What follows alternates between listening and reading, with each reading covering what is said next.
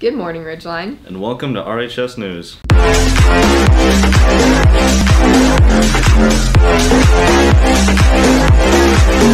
Track and field tryouts for juniors and seniors are today. They're after school in the main gym.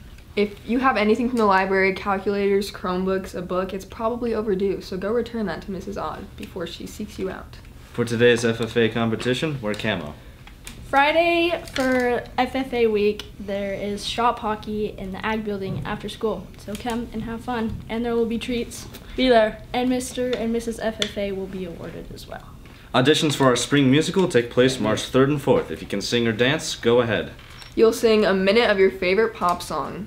Talent show auditions are today after school at 2 p.m. in the orchestra room, and there's a choir concert at 7 p.m.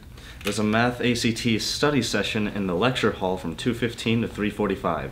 And there's junior registration during flex. I- I Seniors, they come should to the library to learn how to apply for college. Attention everyone, yearbook orders are, are about to be finalized. Check the papers by the stairs to see if your name is on the list. If it's not, go purchase one in the finance office. Have, a great, day, Ridgeline. Yes. FFA. oh, my dog. This happening? I've paid no attention to the world around me for the last seven months.